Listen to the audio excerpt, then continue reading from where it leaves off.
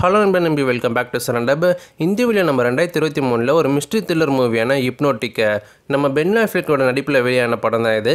இந்த படத்தை பற்றின ரிவ்யூ தான் பார்க்க போகிறோம் ஸோ டைம் வேஸ்ட் பண்ணாமல் வீடியோவை கிக் ஆஃப் பண்ணிடலாம்.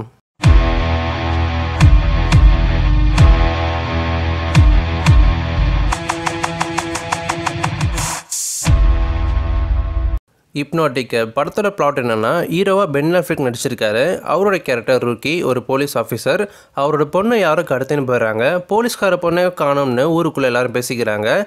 இவர் பொண்ணை கண்டுபிடிக்க ஒரு குழு கிடைக்குது. டெல்ரெயின் ஒருத்தனை பிடிச்சா அவர் பொண்ணை கிடைக்க சான்ஸ் இருக்குன்னு சொல்லி இவர் நம்புறாரு.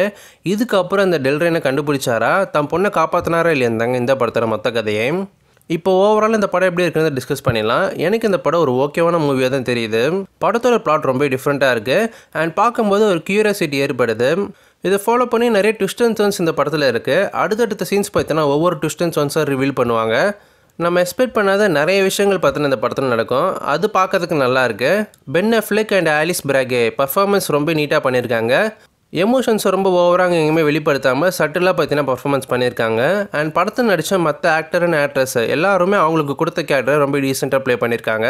இதை ஃபாலோ பண்ணி கேரக்டர் டெவலப்மெண்ட் பெருசாக இந்த படத்தில் எந்த கேரக்டர்ஸுமே இருக்காது. இதனாலே நம்மளால் கனெக்ட் ஆக முடியல.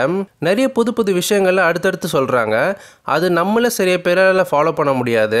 என்னதான் நடக்குதுன்ற மாதிரி நிறைய பேருக்கு யோசிக்க தோணும். நம்ம தமிழ் சினிமாலே இந்த மாதிரியான படங்கள் வந்திருக்கு. சூரிய நடிப்பில் வெளியான ஏழாம் அறிவு ஜெயம் ரவி நம்ம அரவிந்த் சாமி நடிப்பில் வெளியான போகன் போன்ற தமிழ் படங்களை டைம் எடுத்து அந்த ஒரு விஷயத்தை பற்றின எக்ஸ்பிளைன் பண்ணியிருப்பாங்க. பட் இந்த மூவியில் அதை மிஸ் பண்ணிடுறாங்க. படத்தோட பேருக்கு ஏற்ற மாதிரி ஹிப்னோட்டிக்ன்ற ஒரு சில விஷயங்களை காமிக்கிறாங்க. ஒரு சில பேருக்கு அது நல்லா இன்ட்ரெஸ்டிங்காக இருக்கும். பட் கடைசி வரைக்கும் அது புரியாமல் பார்க்கறதுனால எந்த ஒரு பலனுமே இருக்காது. ஓவராலாக ஒரு one hour thirty three minutes கிட்ட போர் அடிக்காத ஒரு டீசெண்டான மிஸ்ட்ரி த்ரில்லர் மூவி தான் இது. இந்த படத்துக்கு ஐஎம்டிபியில் five point five of ten rating கொடுத்துருக்காங்க. இந்த மூவி அமேசான் பிரைமில் தமிழ் டப்பிங்கோட அவைலபிளாக இருக்குது தமிழ் டப்பிங் டீசெண்டாக லிப்சிங்கிங்கோட கரெக்டாக பண்ணியிருக்காங்க.